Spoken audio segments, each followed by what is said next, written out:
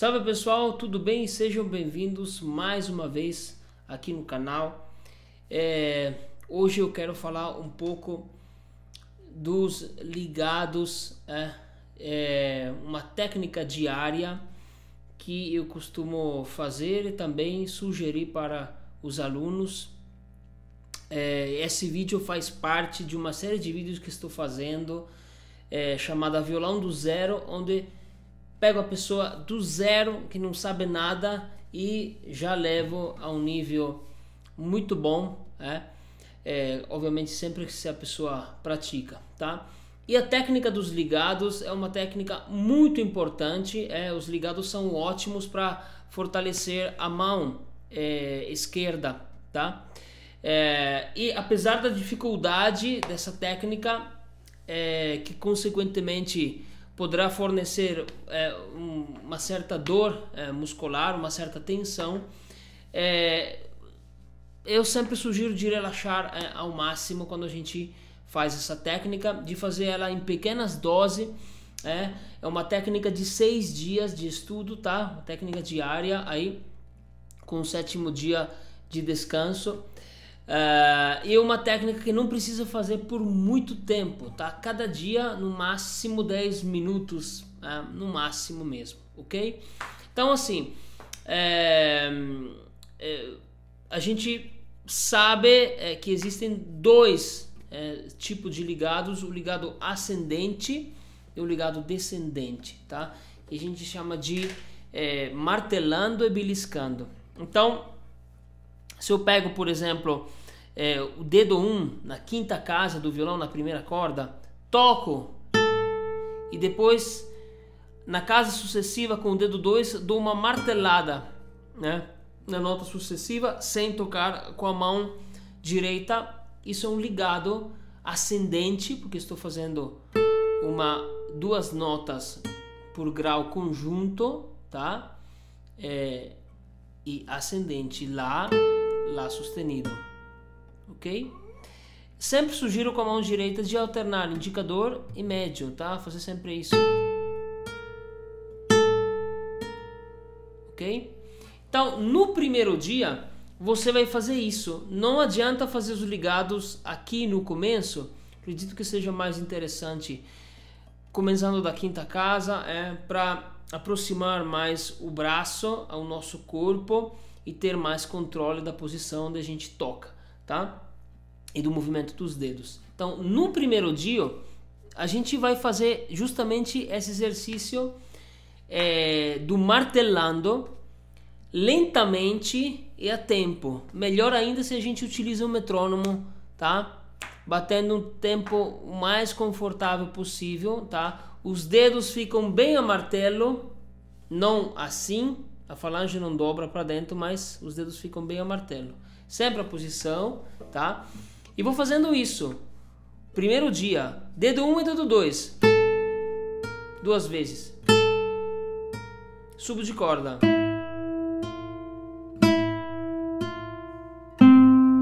Vou subindo, sempre duas vezes por corda. Quarta corda,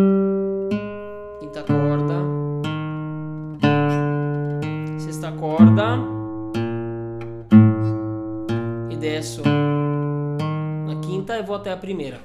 Atenção, é, o ligado martelando é muito interessante a gente ouvir não somente a nota em si, o Lá e o Lá sustenido, né? mas tem que se ouvir também uma, cer é, uma certa percussividade nesse movimento. Então carrego bem e solto como uma mola. Eu não sei se dá para ouvir na gravação, mas é esse barulho. Além da nota, tem que se ouvir isso. O violão é um instrumento percussivo, né? Além de ser um instrumento, obviamente, harmônico, melódico, mas ele é visceralmente percussivo, não adianta. A gente marca o ritmo em tudo que faz. Sendo um instrumento a corda dedilhada realmente ele marca muito bem é, a, sequência dos, dos ritmos das notas. E é muito importante se ouvir esse som, né? percussivo porque ele marca mais, ok? Muito importante. A mesma coisa, sempre no, no, no, no primeiro dia, é, para fazer isso, com um e dedo 2 é rapidinho. Aí vai fazer um e três, mesma coisa.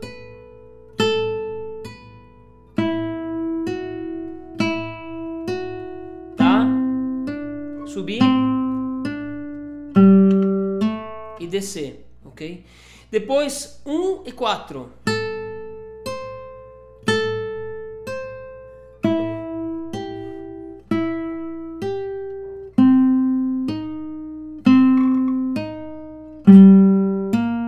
subir e descer, ok? Então fiz 1 e 2, 1 e 3, 1 e 4. Agora vou fazer 2 e 3.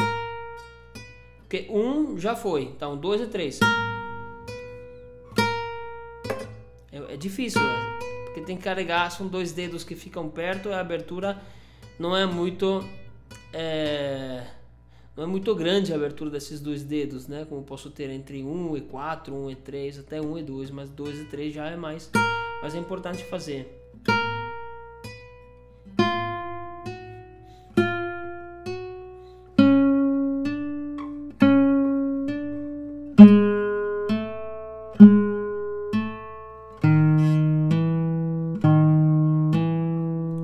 Subo e desço. Depois vou fazer 2 e 4. Fiz 2 e 3, agora 2 e 4.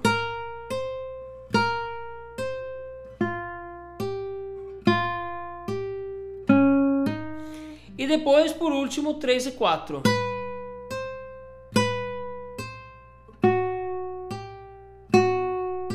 Ok? Subo e desço. Primeiro dia, simples. O segundo dia, vou fazer o beliscando, que é o martelado descendente. Então, no lugar de fazer 1 e 2, vou fazer 2 e 1. Então, preparo já um aí, apertando a quinta casa da primeira corda e com o dedo 2, encaixo bem é, é, a carne do dedo, melhor ainda se tiver o calo já, e puxo para fora. Não puxo para baixo. Claro que vai para baixo um pouquinho o dedo. Sobre isso, inclusive, tem um videozinho onde explico essas questões é, aqui no, no, meu canal YouTube, tá? Vou deixar aqui para vocês poderem é, é, ver esse, esse vídeo e continuar agora. Então encaixo e puxo mais a corda para fora. É claro que se move um pouquinho para baixo o dedo, mas o conceito é pensar que puxo para fora. E subo. Faço a mesma coisa. Esse, esse, ó. esse barulhinho percussivo também é importante. Espero que dá pra, pra ouvir aí.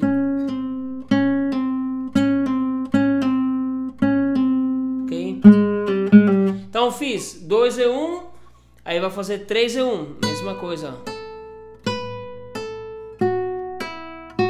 A velocidade, gente, tem que ser uma coisa contínua, tá? ser rápido ou pode ser lento, ok? Depende da, da habilidade de cada um, ok? Mas é, é, tem que começar lentinho, ok? E respeitar a pulsação, não, não pode fazer assim. Não, tem que ser tic-tac,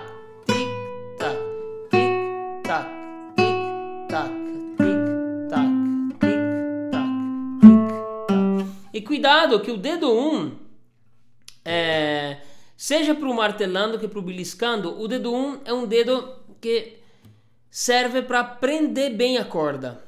Tá? Não posso mexer ele assim, puxando para cima ou para baixo. Não, ele fica. Por exemplo, quando eu faço beliscando, viria de ah, puxar esse dedo para baixo.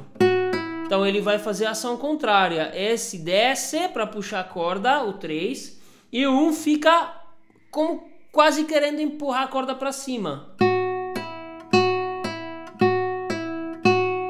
Vou ver se consigo ficar um pouquinho mais perto para vocês verem. Não é isso, mas isso.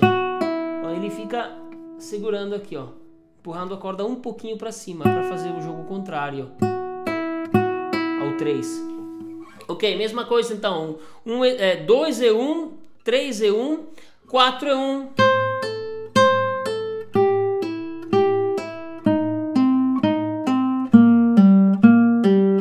Ok?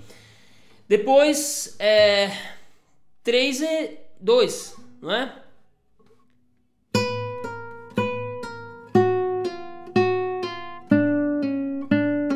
E desço. Depois 4 é 2.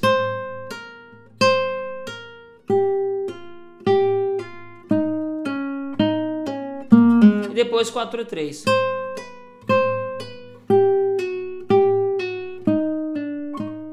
Obviamente, sempre é isso, tá? Qualquer coisa que eu faça, o 1 está na casa 5, o 2 está na casa 6, o 3 está na casa 7 e o 4 está na casa 8, ok? Bom, isso é o segundo dia. Coisa de 10 minutos, não mais. Terceiro dia, martelando e beliscando junto. Então é 1 um é 2, 2 é 1. Um.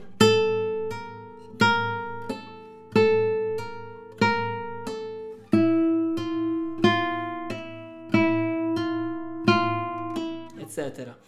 Aí 1 um é 3, 3 é 1. Um. Etc. Subindo e descendo. 1 é 4, 4 é 1.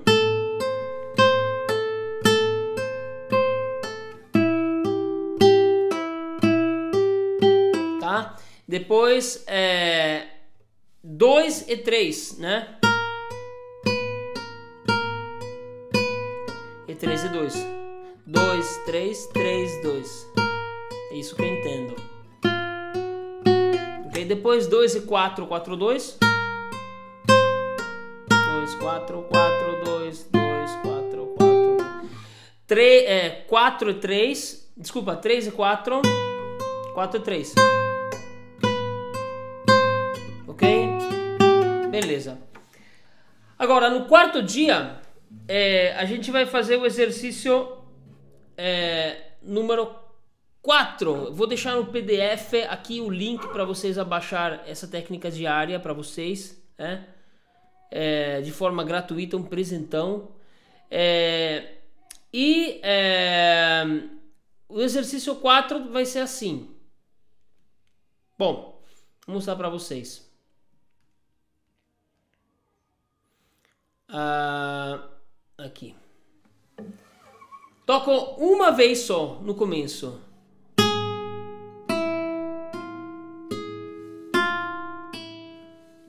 Só toco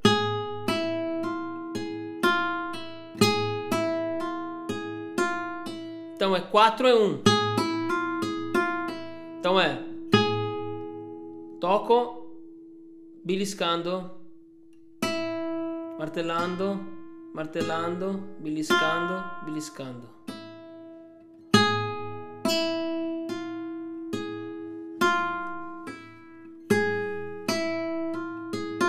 Subindo de corda.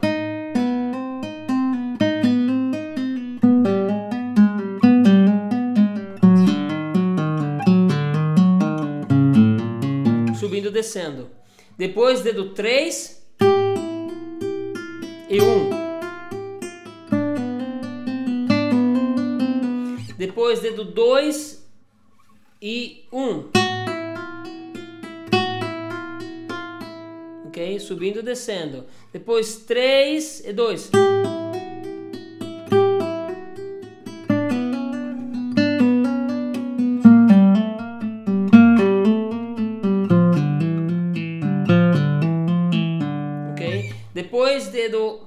4 e 2.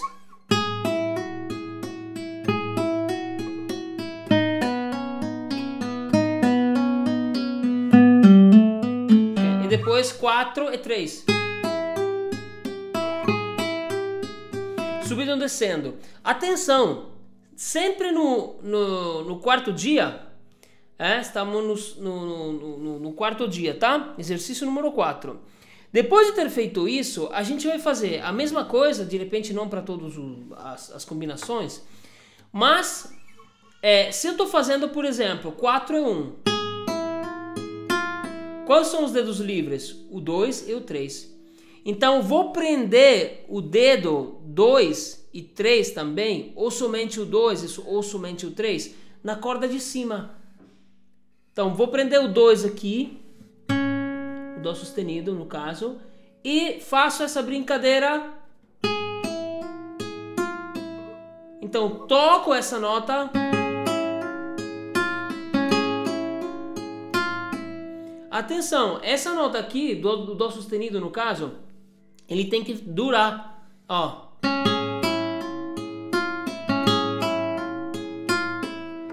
Dessa forma, eu me obrigo a, é, a fazer esse tipo de exercício também com dedos, com os dedos presos em outras, em outros lugares. É, os dedos que não, que não estão na verdade, produ, na verdade produzindo um som, né? Posso fazer sem tocar, por exemplo sem tocar o dó, o dó sustenido, ou tocando, mas se tocar tem que durar, tá?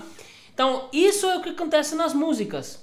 Fazer um ligado de repente normal, só é, fazendo trabalhar aqueles dedos que estão atuando ligado, é mais fácil. O problema é que nas peças, nas peças isso não é que acontece sempre, né?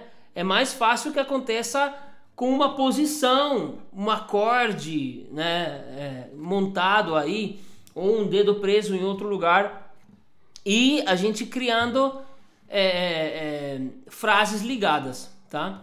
Então esse exercício aqui ajuda a fazer isso, tá? A manter dedo preso e então agora aprendi o 2, não posso aprender o 3.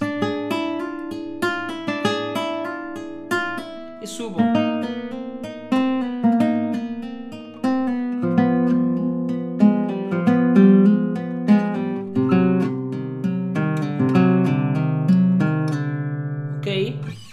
mesma coisa vale para a linha de baixo, quando é 3 e 1. Posso prender um do, o 2. É. É, eu estou fazendo aqui agora em primeira posição, mas na verdade posso fazer aqui também. É como estava fazendo para o dia 1, para o dia 2, para o dia 3. Fazer aqui na quinta casa, né? Ok? Combinação 3 e 1. Prender o 2. Eu vou prender o 4.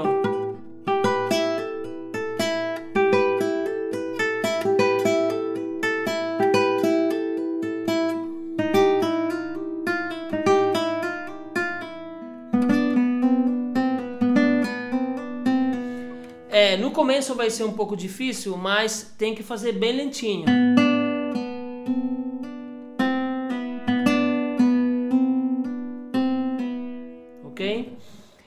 Se os dedos em jogo estão, são 2 e 1, um, o 3. É. Ou 4. Ok? Esse é o mecanismo. Ok? Esse no quarto dia. No, no, é, é, no quinto dia é o exercício 5, tá? É, que tá ali no PDF.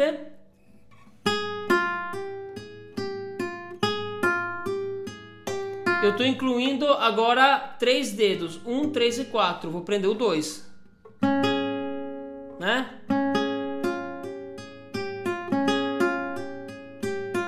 Aqui subindo.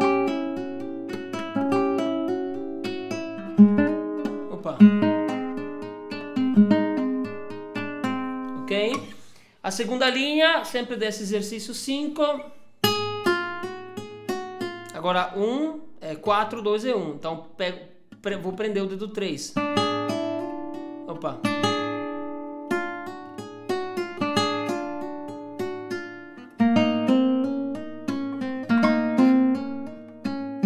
Opa.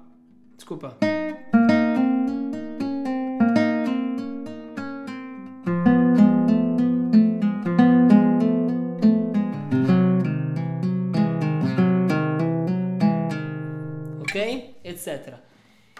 Aí depois a terceira linha. 3, 2, 1, prendo 4.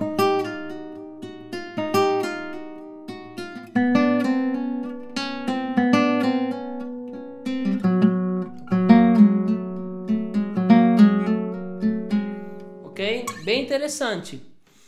Isso no quinto dia. E no sexto dia, tenho aqui um exercício mais completo, que é isso, que está inclusive no meu curso online.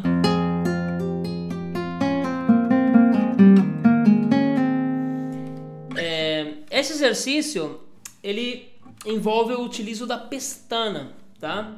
Porque muitas vezes a gente encontra nas peças coisa com pestana por causa de criação do acorde, por, causa do tom da música, e os outros dedos têm que trabalhar em ligado. Então, você pode começar a fazer esse exercício, na verdade, aprendendo o modelo, como está escrito aí na, no PDF, tá?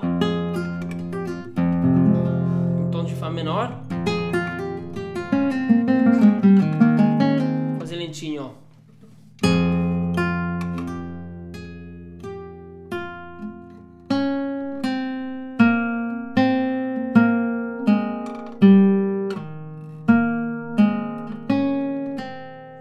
Você aprendeu isso, é sempre a mesma coisa, vai para frente na segunda casa.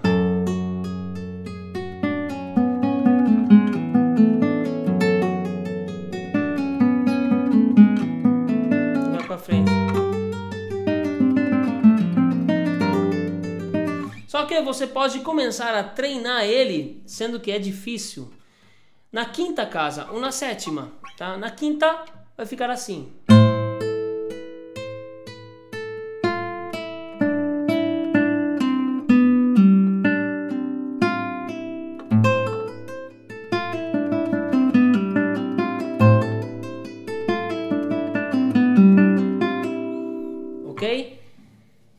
Treina um pouquinho ele por 5 ou 6 minutos e ok, o sexto dia está ok. Sétimo dia descansa, ok? Então, é uma técnica diária né, de uma tipologia de exercício, obviamente não existe só isso, mas é uma coisa que funciona, tá? Funciona bastante, os alunos eu vejo que desenvolvem muito bem, fortalece a mão esquerda, são mais precisos quando tem o ligado, e, é, e depois, a hora de realmente aplicar nas peças, é, sai com tudo com muito mais fluidez, facilidade, segurança e precisão. Ok? Então não esqueça de se inscrever no canal, de comentar, né, de ativar o sininho, de, de deixar realmente o teu comentário, é o que me interessa mais. E a gente vai se ver no próximo vídeo. Um grande abraço a todos.